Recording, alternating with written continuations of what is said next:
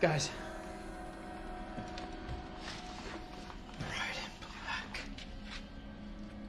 I know that name. Word. What you got? One of the victims managed to elude the killer. Police said she described her attacker as an old woman dressed in a black wedding gown and veil. Black claims his 15th victim. Victims.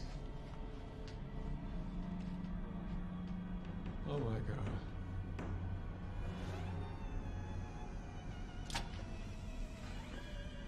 Wait a second.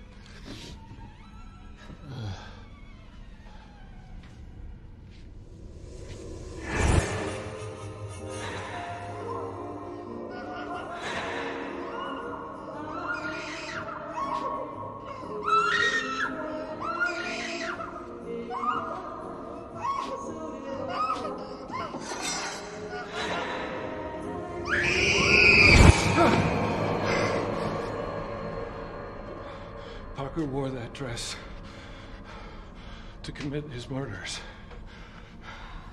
It was his disguise. He killed for his mother because she forced him to. He wanted his childhood back.